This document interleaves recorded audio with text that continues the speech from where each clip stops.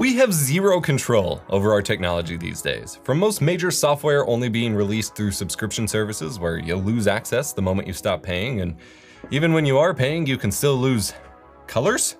To the vehicles we drive and the CPUs in our PCs having physical features locked behind paywalls, to user customization vanishing more and more every day. For all the that NFTs get, the majority of big tech purchases we make these days are really no better. As someone who grew up in the era of wild Windows XP skins, browser stalling MySpace layouts, and rad IRC client customization, I feel like I'm suffocating a little bit.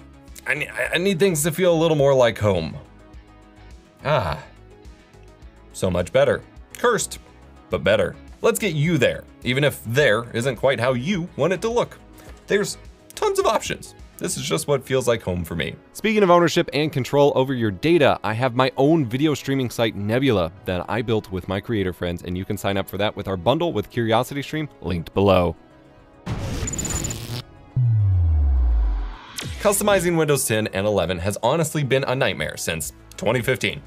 Cool apps like 7 Plus Taskbar Tweaker and the tabbed File Explorer plugin Clover just kept breaking, and, and needing and needing constant updates with every major Windows update, which was really frustrating for a long time. And while I have made tutorials in the past for fully skinning Windows 10, it takes a ton of work, and again, not if, will break quickly.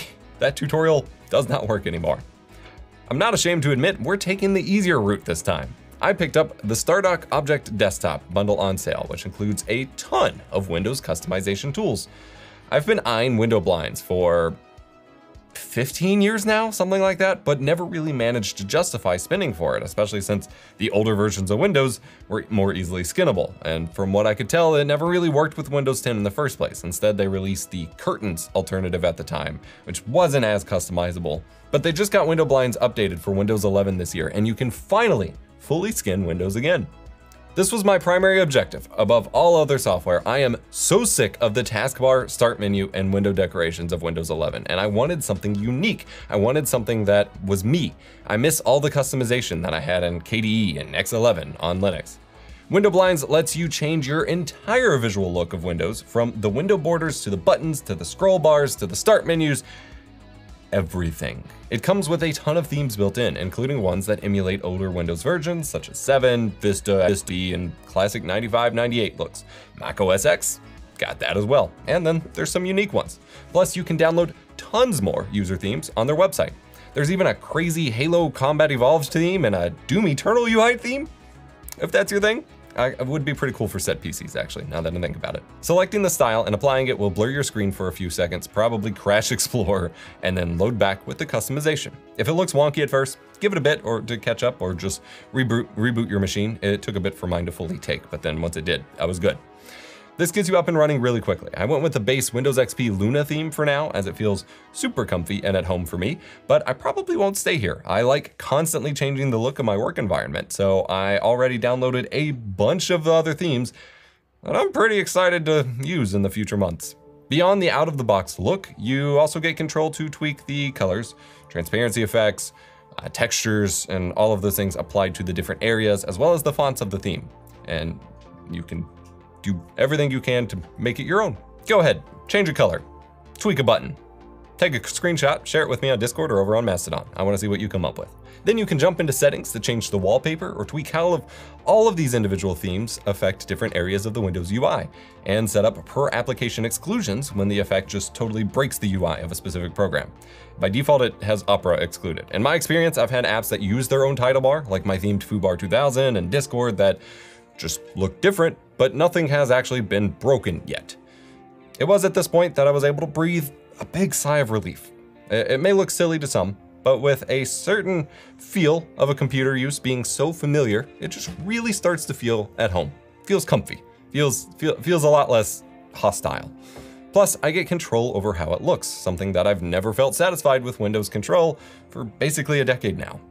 The Luna theme I used replaces the start menu with a Windows XP style menu by default, and th this is fine. I have a lot of nostalgia and comfort with the XP and even the Windows Vista era start menus, funnily enough. Uh, but for my use case, I don't actually want this. I started down this whole rabbit hole actually specifically to uh, because I was fed up with Windows 11's horrendous start menu, and I wanted to fix it. I, I love a lot of what Windows 11 brought to the table. That's why I upgraded at the end of last year and never looked back. And after adjusting my muscle memory to get used to the centered taskbar all year, I actually think that I feel that it's the superior way to go. But the start menu is utterly useless. Completely, just in case my feelings weren't clear to whomever at Microsoft works on this, this is by far the worst start menu iteration since 3.1. Bad. Anyway, Start 11 helps me fix this. There's no end of start menu replacements out, out there, and I've even covered a few uh, in my video on taking control of Windows 11 from earlier this year. I'll have linked below. But Start 11 seems to be a lot of people's top recommendation when I was looking into it and integrates seamlessly with all of this. So why not? My real complaint here is that the Windows 10 style menu is the only resizable option.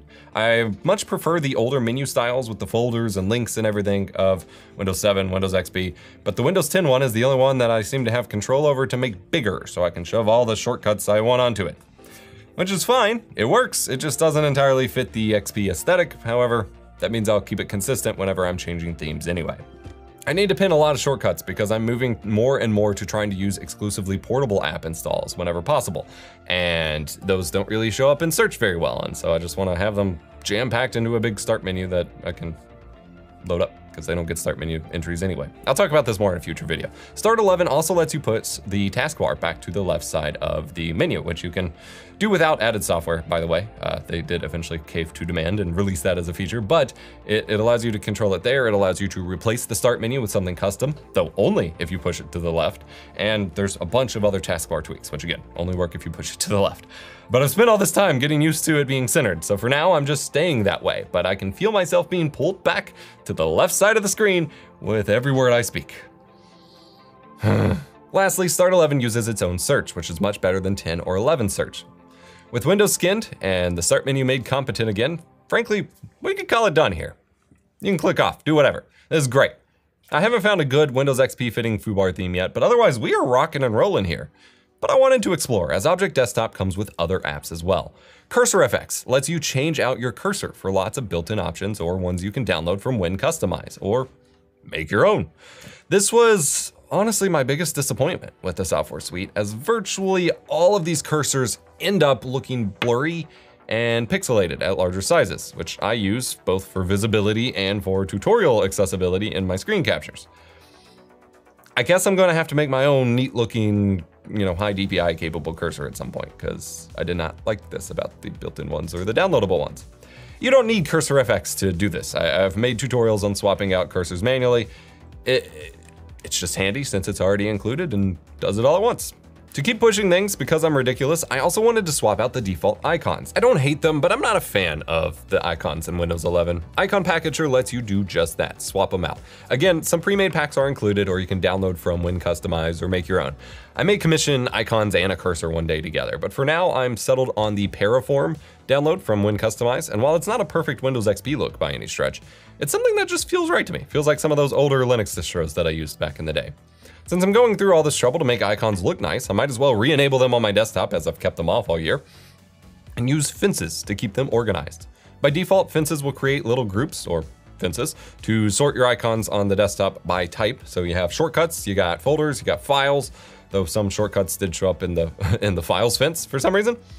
This is a great start. Organization already better. But even better is the folder portals, which lets you feature other folders on your desktop readily accessible. So I have pinned my Dropbox and my iCloud Drive that I use to share files with others, as well as my video resources folder that has my assets for video editing. This is wild. Game changing for me, especially since you can control where they show up on other monitors, when you connect and disconnect monitors, like good stuff here. If you want to change everything else, Object Desktop comes with tools to set animated desktop backgrounds, change system sounds, which I keep turned off so I didn't use, free up storage space, organize windows better, like the physical windows, well, not physical, the windows on your screen, control multiple PCs with one keyboard and mouse with multiplicity, and you can add tabs to programs. That last one, called Groupy, I was very excited for, especially since Microsoft has drug its feet on tabbed Notepad and Explorer, and the tabbed Explorer and the Insider builds right now make just pales in comparison to even the, the Clover plugin from 12 years ago. But Groupy seems to break custom themes, so for now I'm not using it. Call it cursed, call it a perfect fit. The point is that you can make it whatever you want. Being able to customize your technology and to do so with minimal setup. We didn't use any scripts or config files or terminal commands. That's extremely important to me. I now get to customize my look whenever I want, and I won't run out of looks anytime soon. And now you can too. User customization has been locked away more and more in favor of tighter DRM, pretending to be security, and desires to keep a clean corporate consistency for advertisers. Did you know that not only did we used to have unique backgrounds for our YouTube channels, but we also got to have custom subscribe buttons above our videos? A lot of it looked quite amateurish, I'm not gonna lie, but that was part of the fun. These days, the common argument is that customization is less possible due to most people not being hardcore nerds and not wanting to tinker with config files all day. And I, I, I get that. I never really liked setting up Rainmeter uh, back in the day because I didn't want to, I didn't have the attention span to dig through all the config files and things breaking all the time. But Windows used to just have a deep theme editor with tons of customizability built in. And you could just download themes double click on them, and select them through a menu. It was as easy as it gets. Welcome back. Where do we go from here? Is usually the question I get asked the most after videos like this. Instead of making you wait for my next video, it's already available right now to watch over on my own streaming site, Nebula. Nebula is a creator-owned video site built and shaped by me and my creator friends, such as Low Spec Gamer, Thomas Frank, Rene Ritchie, and plenty plenty of others. Polyphonic's on there, Legal Eagle, so many awesome creators. My videos are higher quality there, ad-free, and now early on Nebula. So if you want to see my next video and keep learning how to master your tech and make things weird, that would be where to go. The best way to sign up for Nebula is with CuriosityStream, another great streaming site full of thousands of documentaries and entertaining content, including NYC Revealed, all about how the underlying infrastructure of New York City makes it tick just like this video was all about messing with the underlying themes of Windows to make it your own so that you know how to navigate it better. We worked out a fantastic bundle with CuriosityStream where if you sign up at the link below, you get Nebula bundled with it for free at just $14.79 for a year of amazing content. Two sites for the price of one at an amazing low price. Get the best deal in streaming and see my videos early, plus my documentary series print screen at curiositystream.com slash ebos. I've been an advocate for user control and customization for a very long time now, and I've finally committed to my main links page being a fully Y2K cringe uh, NeoCities page. NeoCities being a open source revival of GeoCities from back in the day, instead of being corporate and locked down like Linktree, BioLink, and whatever. Those are great services, although Linktree has some issues with content filtering. But 10 minutes of HTML, copy pasting in a cheap domain host like Namecheap or Porkbun, and you have something that you own, you control, and you can make however you want. You don't gotta wait for them to support your new platform or anything, you just put it on there. I've been looking at iPad customization lately since it's basically my laptop, and I'm always disappointed at how limited it is and how most of the apps that seem to be able to do much are subscription based. Even my iPod Touch I could change the icons on, and you can't anymore. My, how tech has fallen. Remember to be kind, rewind.